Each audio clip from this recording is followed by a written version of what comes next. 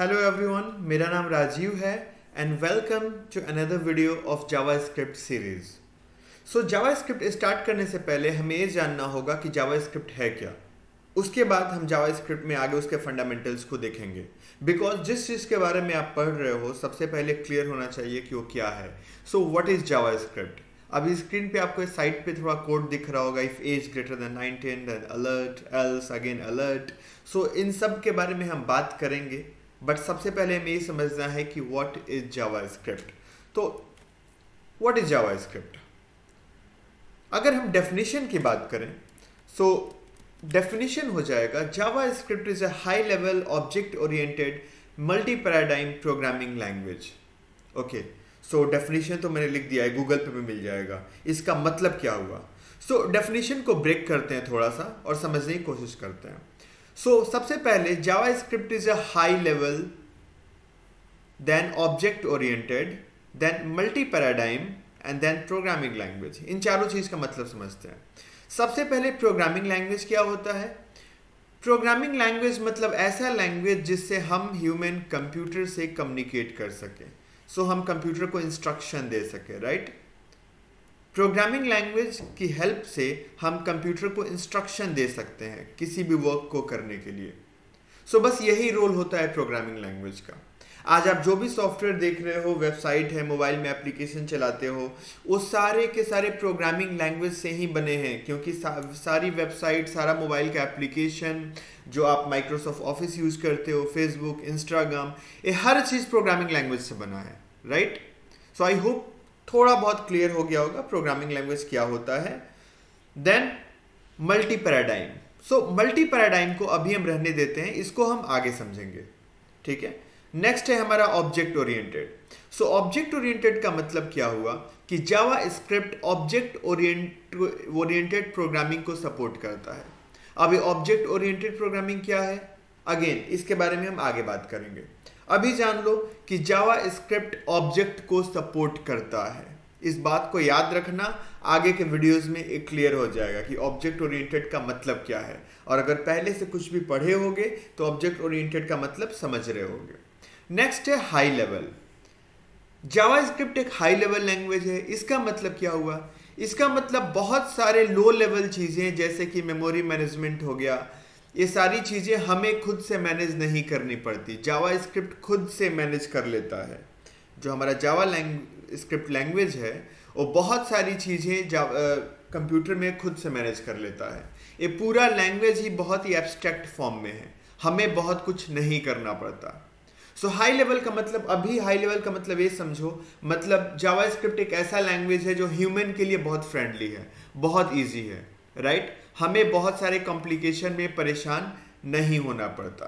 So I hope definition का मतलब clear हो गया होगा कि JavaScript is a high level object oriented multi paradigm programming language so आगे बढ़ते हैं।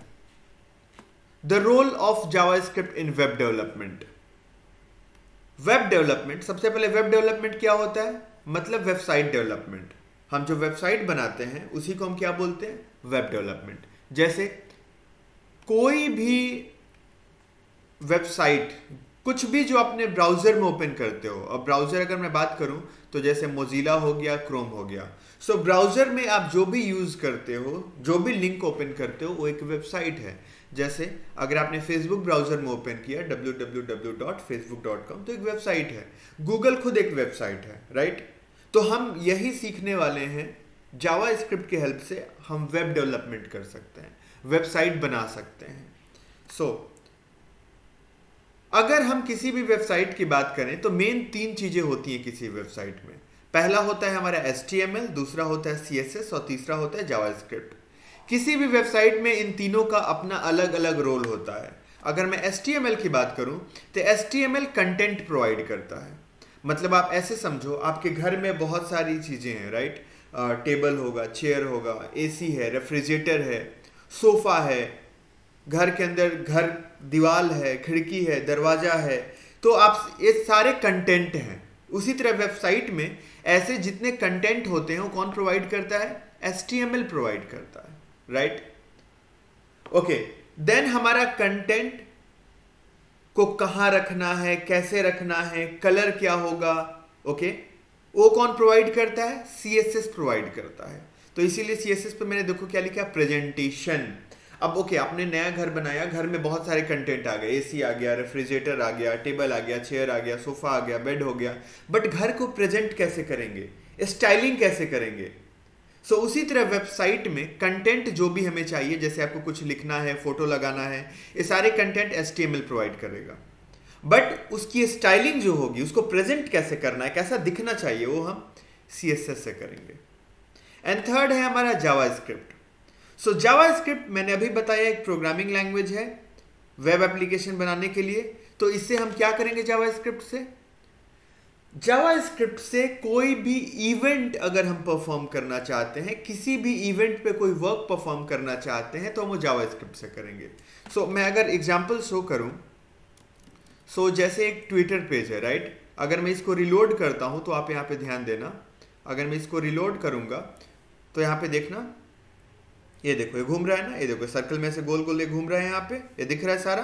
ये लोड हो रहा है। तो यहाँ पे जावा स्क्रिप्ट काम कर रहा है। जब तक हमारा डेटा लोड नहीं हुआ, तब तक हमारा जावा स्क्रिप्ट क्या कर रहा है? यहाँ पे एक लोडिंग बटन आपको दिखा रहा है। ओके लोडिंग लोडिंग साइन दिखा रहा है। और जैसे ही डेटा लोड हो गया डेटा शो कर दिया। तो ये काम कौन कर रहा है? ये जावा स्क्रिप्ट कर रहा है। राइट अब देखो, अगर मैं जैसे यहाँ पे देखो अली बाबा क्लाउड मैं इस पर कर्सर ले जाता हूँ। तो देखो अली बाबा क्लाउड का पूरा डेटा सर्वर से लोड हो गया, हमें शो कर दिया। ये वेब ब्राउज़र में किसके कारण हो रहा है? ये जावा स्क्रिप्ट के कारण हो रहा है राइट सो आई होप समझ में आ गया होगा जावा स्क्रिप्ट क्या करता है। हालाँकि इतना ही नहीं, इससे बहुत ज़्यादा काम जावा स्क्रिप्ट करता है। मैं सिंपल एक छोटा सा एग्ज़ाम्पल दे रहा हूँ राइट सो अगेन एस अब यहाँ पे आपको जितना कंटेंट दिख रहा है, कि होम लिखा होना चाहिए एक्सप्लोर लिखा होना चाहिए नोटिफिकेशन लिखा होना चाहिए, ये यहाँ पे मध्य प्रदेश के सीएम है हमारे, इनका फ़ोटो होना चाहिए ए एन आई डिजिटल लिखा होना चाहिए, यहाँ पे साइड में विराट कोहली का फ़ोटो होना चाहिए। जो भी यहाँ पे टेक्स्ट इसमें लिया हो, जिसको आप पढ़ पा रहे हो या कोई फ़ोटो है जिसको देख पा रहे हो, ये सब किसकी वजह से आया है? एस ओके अब स्टाइलिंग देखो। ये सारे कितने अच्छे से साइड में हैं। अगर होम पे हम कर्सर ले जा रहे हैं तो देखो कलर बैकग्राउंड कलर चेंज हो जा रहा है। ये देखो। अगर हम ट्वीट पे बटन ले गए कलर चेंज हुआ। ओके अगर हम यहाँ देखो विराट कोहली व्हाट्स हैपनिंग के नीचे हमें ले गए, पूरा ये चेंज हो गया। बैकग्राउंड देखो इसका। ये सारा किसकी हेल्प से हो रहा है? सी एस एस प्रेजेंटेशन हमने अच्छे से प्रेजेंट किया है डेटा को कंटेंट को। और जावा स्क्रिप्ट तो मैंने बताया है। सो so, अगेन देखो कंटेंट आप इसको ऐसे भी रिलेट कर सकते हो। इंग्लिश लैंग्वेज में तीन चीज़ पढ़ा होगा नाउन एडजेक्टिव और वर्ब सो एस एक तरीके से मेरा नाउन होता है राइट right? जैसे एस में एक paragraph P P open P close इसको पैराग्राफ बोलते हैं। यानी कि अगर आप अपने वेब पेज पे पैराग्राफ चाहते हो तो इस टैग का यूज़ करोगे। एक नाम है तो एक तरीके से एस को आप नाउन समझ सकते हो। CSS को एडजेक्टिव समझ सकते हो। एडजेक्टिव क्या करता है? एक तरीके से adjective he is a good boy so good boy boy हमारा नाम है ओके okay? एक नाउन है, और गुड एडजेक्टिव है, जो उसकी क्वालिटी डिफाइन कर रहा है। तो उसी तरह सीएसएस क्या करता है? क्वालिटी डिफाइन करता है, कि ठीक है पैराग्राफ तो होगा, इसके अंदर कुछ लिखा होगा बट उसमें जो टेक्स्ट दिखेगा, उसका कलर क्या होगा, वो सीएसएस डिफाइन करेगा। तो हम ऐसे कर सकते हैं पी पैराग्राफ का नाम, और कलर रेड तो जो आपको स्क्रीन पे पैराग्राफ दिखेगा जो भी पैराग्राफ के अंदर लिखा होगा वो रेड दिखेगा। फिर जावा स्क्रिप्ट एक तरीके से वर्ब हो जाता है। वर्ब क्या होता है? जैसे he is good good boy and he is playing cricket I know बहुत वियर्ड से सेंटेंस है बट एज्यूम कर लेते हैं। हमारा एक सेंटेंस है he is a good boy and he is playing cricket तो प्ले यहाँ पे वर्ब क्या है? प्लेइंग ओके okay, वर्ब मतलब हिंदी में क्या? क्रिया। सो वही जावा स्क्रिप्ट है क्रिया। अगर कोई एक्ट परफॉर्म करना है किसी इवेंट पे जैसे आप चाहते हो कि आप यहाँ पे एक बटन है ठीक है? आप चाहते हो कि बट, बटन पे जैसे ही कर्सर लेके जाओ यहाँ पे फ़ोटो शो हो जाए इसके बगल में। तो ये कैसे होगा? ये इवेंट है। आप जैसे ही बटन पे कर्सर ले जाओगे आप चाहते हो बगल में एक फ़ोटो शो हो जाए। तो ये हम किसकी हेल्प से करेंगे? ये हम कर सकते हैं जावा स्क्रिप्ट की हेल्प से। सो आई होप क्लियर हो गया कि वेबसाइट में तीनों का रोल क्या है। सबसे पहला हमारा एस टी एम एल और फिर सी एस एस और उसके बाद हमारा जावा स्क्रिप्ट सो आगे बढ़ते हैं। Now there is nothing you can do with JavaScript well almost everything आप जावा स्क्रिप्ट से हर कुछ कर सकते हो वेब डेवलपमेंट में not even web development mobile application desktop application हर तरीके का एप्लीकेशन या वेबसाइट आप क्रिएट कर सकते हो जावा स्क्रिप्ट से। सो so, सबसे पहले बात करते हैं हम dynamic effect and web application in browser मैंने अभी बताया कि जो ब्राउज़र में, आपका जो भी कंप्यूटर में ब्राउज़र है या मोबाइल में, जैसे मोजिला हो गया, क्रोम हो गया, उसमें जो भी आप कंटेंट ओपन करते हो, उसको वेबसाइट या वेब ऐप बोलते हैं, ठीक है? तो पूरा का पूरा आप किससे क्रिएट कर सकते हो? जावा से। और उसके लिए जावा के बहुत सारे फ्रेमवर्क हैं, जैसे रिएक्ट हो गया, एंगुलर हो गया व्यू जेएस हो गया इन सब का आप यूज़ कर सकते हो। आप कंप्लीटली प्योर जावा स्क्रिप्ट से भी बना सकते हो और जावा स्क्रिप्ट के फ्रेमवर्क्स का भी यूज़ कर सकते हो। अब सोच रहे हो कि फ्रेमवर्क क्या होता है? सो so, फ्रेमवर्क का मतलब कि जावा स्क्रिप्ट के कुछ फ्रेमवर्क ऐसे टूल्स होते हैं जिससे चीज़ें करनी और आसान हो जाती हैं। मतलब कोई काम अगर आप प्योर जावा स्क्रिप्ट में करोगे तो हो सकता है कि आपको टेन लाइन ऑफ़ कोड लिखना पड़े। बट उसी के लिए अगर आप जावा स्क्रिप्ट का फ्रेमवर्क जैसे रिएक्ट यूज़ करोगे तो हो सकता है दो लाइन कोड लिख के हो जाए। सो so, अभी फ्रेमवर्क में मैं इतना ही समझा सकता हूँ आगे हम लोग देखेंगे इस चीज़ को। सो so, अगर आपको वेबसाइट बनाना है तो आप जावा स्क्रिप्ट यूज़ कर सकते हो उसके फ्रेमवर्क्स को यूज़ कर सकते हो जैसे एंगुलर हो गया रिएक्ट हो गया व्यू हो गया और इसके अलावा भी और भी बहुत सारे हैं राइट सो so, इसके अलावा नेक्स्ट है हमारा वेब एप्लीकेशन आप चाहो तो वेब एप्लीकेशन भी क्रिएट कर सकते हो राइट? जावा स्क्रिप्ट से।